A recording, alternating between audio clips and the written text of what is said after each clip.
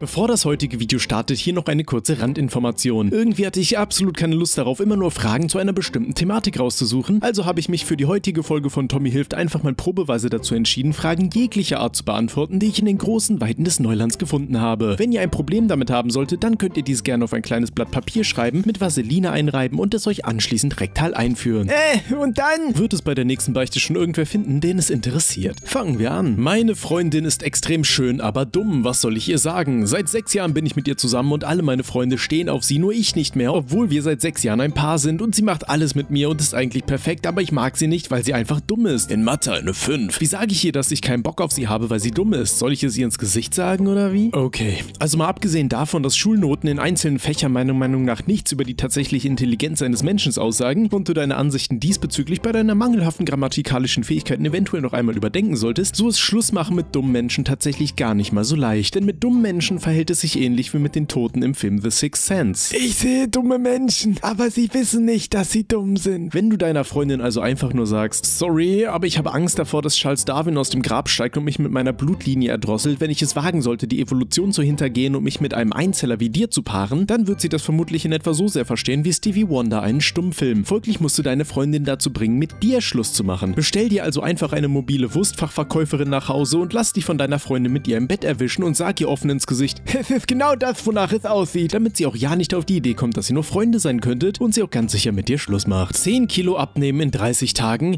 Hat irgendjemand damit Erfahrung gemacht? Ich bräuchte dringend Tipps und Tricks. Schon mal danke im Voraus. Nun ja, das ist tatsächlich relativ simpel. Steck dazu einfach deine Arme in eine Baumhäckselmaschine. Funktioniert wirklich. Daumen hoch. Allerdings kann ich dir von dieser Diätvariante dann doch nur abraten, da Blitzdiäten jeglicher Art im Großen und Ganzen auf Dauer nie sonderlich gut funktionieren und die meisten Menschen am Ende der Diät relativ schnell wieder auf ihr altes Gewicht zurückkommen, sobald sie in ihre alten Essmuster zurückfallen. Probiere es stattdessen einfach mal mit Sport und gesunder Ernährung. Ein erster Schritt wäre zum Beispiel, sämtliche Getränke einfach nur durch Wasser zu ersetzen, auf Süßigkeiten zu verzichten und anstelle des Autos einfach mal das Fahrrad zu benutzen. Ja, klappt wirklich super.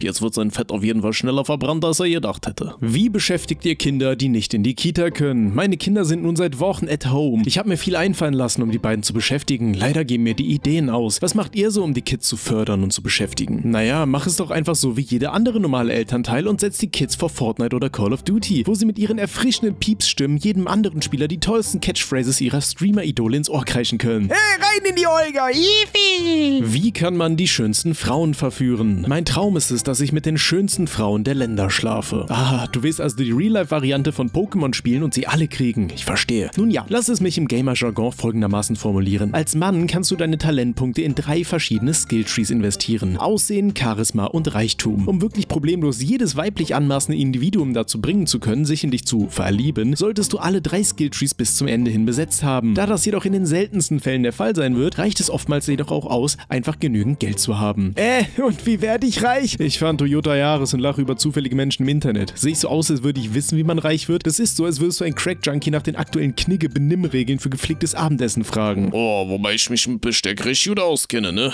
Also zuerst brauchst du einen Löffel und ein Feuerzeug. Nicht in die Disco gehen. Schlimm? Hey Leute, ich, 16, war noch nie in einer Disco und möchte dort auch nicht hin, da ich einfach nicht der Typ dazu bin. Allein der Gedanke an die laute Musik nervt mich schon. Auch wenn bei uns irgendwelche Geburtstagsfeiern sind, finde ich das extrem nervig. Meine Mom wollte, dass ich am Samstag mit meinem Dad und mit meiner Schwester 30 in eine Disco gehe, wobei ich eh schon keinen Bock habe und dann auch noch mit meiner Schwester und meinem Dad. Was jetzt nicht heißen soll, dass ich mich für sie schäme, aber ich finde es eher unpassend, dort mit seinem Dad und seiner 14 Jahre älteren Schwester dorthin zu gehen. Dann habe ich gesagt, dass ich das nicht will und meine Mom so, Oh, du wirst mal total langweilig. was hat das nicht in die Disco gehen mit langweilig zu tun? Nun ja, eins sei mal direkt vorweggestellt, das nicht in die Disco gehen hat absolut nichts mit langweilig sein zu tun, sondern nur mit einem Menschen, der die richtigen Entscheidungen in seinem Leben trifft. Denn vertrau mir, du verpasst überhaupt nichts. Disco-Besuche spielen sich in den meisten Fällen nämlich wie folgt ab. Erstens, man geht zu Freunden vorglühen, weil man Diskos im nüchternen Zustand absolut nicht aushalten kann. Zweitens, wenn es beim Vorglühen dann gerade richtig lustig wird, wird man dazu gezwungen loszugehen, weil man sonst nicht mehr in die Disco reinkommt. Und drittens, in der Disco angekommen, kämpft man sich dann durch komplett zugeschwitzte Menschenmassen, schreit seinen Freunden in die Ohren, weil man nicht normal reden kann. Man ist permanent damit beschäftigt, irgendwen zu suchen, gibt übertrieben viel Geld für Getränke aus und freut sich im Endeffekt einfach nur darauf, endlich wieder nach Hause zu kommen und bereut, dass man das Vorglühen überhaupt verlassen hat. Also, triff einfach die richtige Entscheidung und bleib zu Hause und hör dir meine Podcasts dran. So,